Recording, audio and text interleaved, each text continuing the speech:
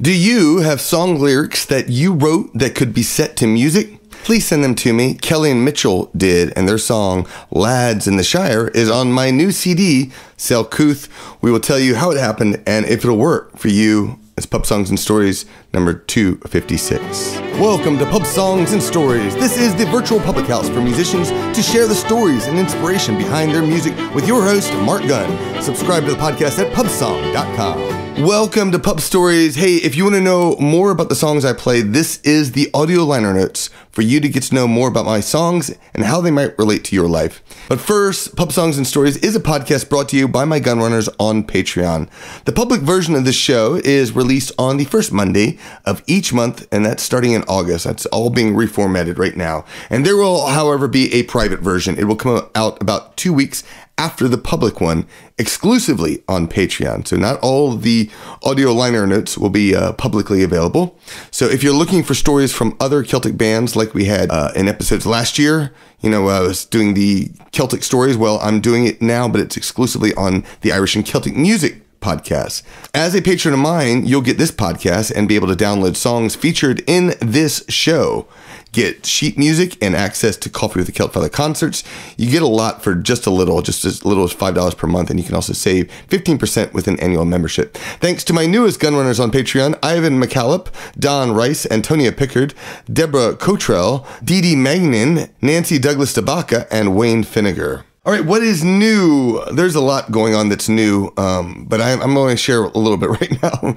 Mostly, I want to talk about my new Kickstarter, which is going to go live in August. The album is called "Come Adventure with Me." It features that title track. If, you, if you've been to any of my shows, you've seen me perform it. I love the song. It also has the song "Blink," and I hope to have some other fantastic songs on there as well. It's some of my newest music, and several songs were released as singles. Uh, "Favor of a Dance" I'm going to put on there, and if I haven't given them away on Patreon yet, then they will be and why is that? Well, let me tell you. Streaming music gives you a quick and easy way to sample all of my music. Digital sales keep my business running. Tips and CD sales allow me to tour. Patreon funds my songwriting. And Kickstarter funds physical products like CDs, shirts, pins, and other merch. The plan is to officially release the album next year, but the big question is in what format? I still have quite a few people who ask me to keep releasing CDs, and I also started releasing album pins, which are lapel pins that are associated with each album. Um, so you can basically wear your albums on your sleeve. And that is what this Kickstarter will fund. Yes, some of the music will go to pay musicians for their time in helping create the music, but most of it goes into producing physical merch for this album. Although I'm also raising money for album pins for a couple of the, my past albums. I want to try to get uh, several of my more popular albums as available as album pins. If you're interested in supporting this album, please subscribe to my newsletter and follow my link to the Kickstarter page in August. I'll announce all. Upcoming shows. A lot of shows coming up. Uh, Gen Con, I'll be at the first week of August, for August 4th through 7th. August 19th, Iron Shield Brewing. August 20th, Best End Brewing. August 26th, Three Taverns Brewery. I'll be at uh, Dragon Con September 1st through 5th. Middle Tennessee Highland Game and Celtic Festival September 10th through 11th. And then September 28th through October 2nd is ALEP in Shakertown, Kentucky uh, like Hobbit music will enjoy this.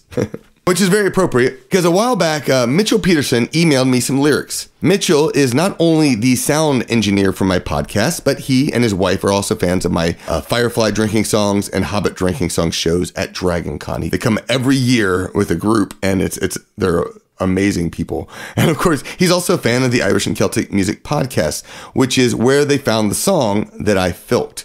And I will let them start by telling you more about the song Lads in the Shire. Hey, this is Mitch Peterson. And Kelly Peterson. And today we wanted to talk about a geeky parody we wrote. Uh, the original song we heard on the Irish and Celtic Music podcast, episode 455, was a song performed by Wolf Loescher called Lads Among Heather. Now, the geeky parody we wrote is Lads in the Shire. And um, we took a lot of parallels in terms of the form and stuff. And then on top of that, uh, Mark wrote his own melody on top of it. But um, it just seemed like a song that was really easy to write. It kind of wrote itself we were listening to episode 455 of the podcast while working on our cosplay costumes for Dragon Con. And when Lads Among Heather came on the podcast, we both looked up at each other and it was like we both knew this sounds just like it could be turned into lads in the Shire. And while we were working on our costumes, we started thinking up the lyrics and wrote a few of them down. And then over the next maybe week, worked to really come up with the rest of the lyrics um, to fit into this Lord of the Rings Middle Earth theme. Yeah, yeah, that was really cool. How we just kind of like, I mean, we had like the original lyrics, and then we kind of did a side by side with like, well, how could this stuff about Scotland also be about the Shire? And just like some of the parallels that we made right away, and the first one especially was um, for a dance in the barn is worth ten in the hall, and we immediately thought, oh, well, a dance by the tree is worth ten in the hall because like The, party, tree. Yeah, the party tree. Right, exactly. with the lads that were reared in the Shire. It just felt so natural to change those two lines that the rest just built off of that. Yeah, and like another good example is like, you know, the, the original song talks about a city. Take a walk around your cities, broad buildings outside. Gaze on the splendors and the wonder. That made us think of, Gondor, Minas Tirith, like yeah, the splendor of the white city and the white tree. yeah. And then the other one uh, Another, you you saw was um was about the Queen, right? there's a line that says, When the queen wants some soldiers, she kens where to send. And that made me think of Gandalf and how Gandalf always goes to the Shire and gets a hobbit whenever he needs a little bit of help with a quest. it's like oh, world's falling apart. Better go get a hobbit. Yeah. Uh, and then the next line is to the mountains and valleys, hills and the glens. And we had to throw in Pippin's line. yeah, yeah. I mean, the the meter just fit too well with Pippin. It was. just, It's just going to be a nice nod on a mission quest thing there and back again. Yeah. So it's actually like a double reference where it's like Pippin's on a mission quest thing, but then also like there and back, There and back again, again. like the original Hobbit. And it just turned out to be really cool. And we we kind of saw a lot, you know, a similar vibe between like what this original song was trying to say like well the scotsmen you know they're they're the greatest they may not be humble and they may not have the big cities but like the lads among the heather that's that's the that's the stuff as it were and uh, we thought the hobbits would share you know that attitude That sentiment. and would you know if, if somebody stopped by the shire you know these outsiders then we te- they would tell them well you might have your big cities and all but you can't beat the weed that's growing on the south farthing Yeah. so here we were with this um, song and it turned out to be pretty good um, we thought it was i mean we, we really enjoyed it but uh, we were like well what's next And we thought to ourselves, who do we know who likes to perform geeky parodies of Irish and Celtic music? And it was strange. It was like we suddenly had this thought of who it could be. Oh, weird. And so we said, hey, Mark, um, we have written this entire parody, and we're wondering if you wanted to check it out. Uh, if not, cool, whatever, it's fine. But um, here's the document. And he looked at it, and um, he said he liked it and everything. And then, like, lo and behold, he sent me some audio files of it. And um, man, it was it was everything I hoped it would be. Uh, we initially thought of Mark as being a perfect fit because like I mean he he he writes some Lord of the Rings parodies and and he goes to Alep and stuff and um, it just seemed right up his alley. It reminded us a little bit once we finished it of um, his Middle Earth bragging song that he plays with the Brobdingnagian bards and um, it just seemed yeah it, it, it was perfect. And we love how he plays it. He plays the melody different from how we first heard the song and different from the recordings you can find online, but it really fits the song and it fits Mark's style of playing and singing, and we just love how it turned out. You know, additionally, with Mark singing, especially, like this just felt like a Dragon Con moment. You know, we talked about the Filk track and um, how there's a lot of geeky parodies there. You know, people write their own lyrics to all kinds of stuff. There's some originals as well, but um, it's a really strong community, and this just felt like a song that that community would enjoy singing um, while having a good time. And uh, because of that, like I, I wanted to capture that vibe in the recording as well. So Mark had sent me all the recordings, and you know everything sounded good. And then um, he had the idea of like singing a couple other parts. Like he wanted to sing with an elf voice and a dwarf voice, um, and his regular voice. Like you know, so you have the other races kind of playing background to uh, the lead part, which is about the Shire and all that. So um, we had those tracks down, and I thought it would be cool to like make the song progressively sound more and more like a party.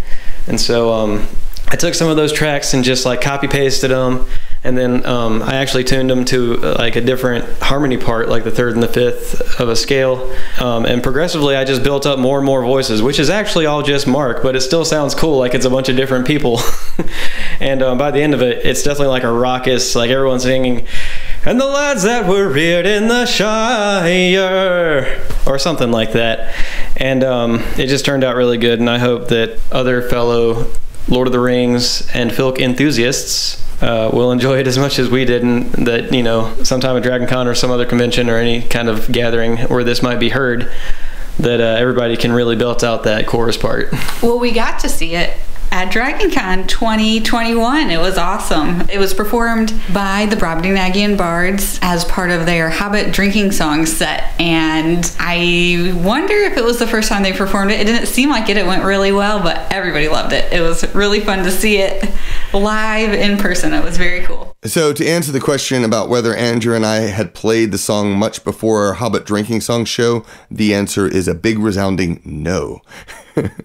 it's funny getting song lyrics from people. What makes me choose one song or another? And it really varies. First off, I don't do nearly as many parodies as I used to. I enjoy parodies. However, one of my goals from the start was to write song lyrics and melodies. It's rare that I follow up the songs sent to me that are parodies, especially if I don't know the original song. Sometimes I will write my own melody Mitchell and I have gotten to know one another over the years, so I thought it would be at least worth trying his song. Now, some songs are really tough, they just don't click. And I have some lyrics from Resheridan Rose that I haven't set to music, maybe yet, but maybe ever, but because they just didn't click uh, for whatever reason. But of course, I also have a whole bunch that did. See the Don't Go Drinking with Hobbits CD, which is mostly lyrics written by Ree. And maybe it's the hobbity nature about this song, but I love the lyrics. They were different from my standard Hobbit lyrics, especially the ones that I write. It felt like a good change to try, so I picked up the autoharp and started strumming. And I said some songs are really tough to write melodies for, and this one was not. The autoharp and melody came together with minimal effort. I also decided to record it. Initially, I thought I would just have Mitchell mix it and release it on Patreon as a one off freebie, which is something I I do now and then if I get some songs. But after getting additional instrumentation added and hearing the mix, I decided to consider it for the CD. now, I should point out I had about 20 tracks I was considering for my latest album, Selcouth. And why did this one make the cut instead of being delayed until the next album? And it really came down to length. My, my goal was to keep the album at under 44 minutes. That's 22 minutes per side. After organizing all the songs, this two and a half minute song fit perfectly on the A side of the album album. I know it's it's kind of silly. That's not to say it wouldn't have made the cut, but I I still love it. And as as Mitchell pointed out, it is the latest addition to my Hobbit drinking songs show that I do. The delightfully simple instruments of bass and mandolin were provided by Daniel Briggs, and of course Mitchell Peterson mixed and mastered the song. So first, I want to send a big thank you to Mitchell and Kelly for writing the song and sending it to me.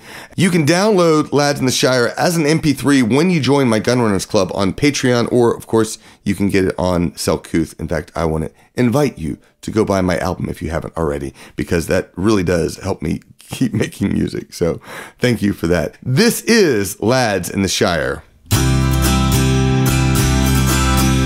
young hobbit maidens, where'er you have been, to the hills you call home and the green dragon inn, and all Middle Earth. You'll ne'er find a friend like the lads that were reared in the Shire. Your dwarf beasts away in caverns so tall. Your parties with menfolk, your great elven balls. For a dance beneath the tree is worth ten in the hall. With the lads that were reared in the Shire. Take a walk round your cities, its walls reach the sky. Gaze on the white tree and tower with pride. But the best pipe weed's grown on the farthing south side by the lads that were reared in the Shire. Your dwarf be so way and cavern so tall. Your parties with men folk, your great elven balls, or dancing the tree through a in hall with the lads that were reared in the Shire hall. needs bearers or burglars to send on a mission quest thing. There and back again, even unto the black gates. They're true to the end, are the lads that were reared in the Shire. Your dwarf beasts away and caverns so tall, your parties with menfolk, your great elven balls, or dance neath the tree is worth ten in the hall.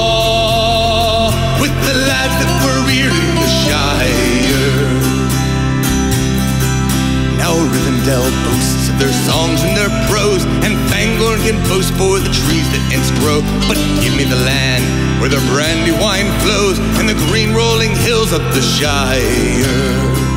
Your dwarf so way in caverns so tall, your parties with menfolk, your great elven balls, or dance neath the tree, your ten in the hall. With the lads that were reared in the Shire. Your dwarf beasts away in caverns so tall, your parties with menfolk, your great elven balls, or dance neath the tree, is ten in the hall. With, with the lads that were reared